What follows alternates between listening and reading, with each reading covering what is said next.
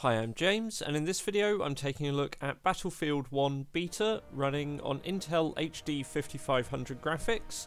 Uh, this is i3 5010U, and we're running at 720p, uh, DirectX 11 mode this time around, and low detail settings.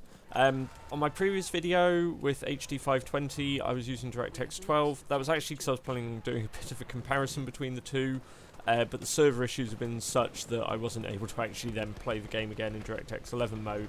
So I've not been able to get a good comparison of the two yet. But we can see here um, with HD 5500 on this i3 chip, we're typically seeing frame rates again in the 20 to 30 frames per second region. Um, in more intense action, we do see that drop into the teens. So while the game is running, um, it's not a fantastic gameplay experience for a multiplayer uh, focused title. Um, you're obviously going to be coming up against people with sort of better systems and higher frame rates who will have a kind of advantage from that. Even so, though the game does run, it is technically playable. Um, I was able to, you know, go through, work towards some of the objectives, and not be completely hopeless. So if you're if you've got a Ultrabook and want to give the game a go, it's certainly worth loading it up, having a try, seeing how it works. Um, particularly at the minute while the beta is free.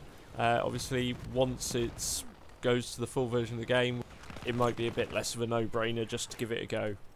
Anyway, I hope you found this video useful. Uh, we will be posting up more videos as we have time to do them uh, in Battlefield 1, so hit the subscribe button if you want to see more, and let us see what else you'd like to see tested as well down below. Thanks for watching.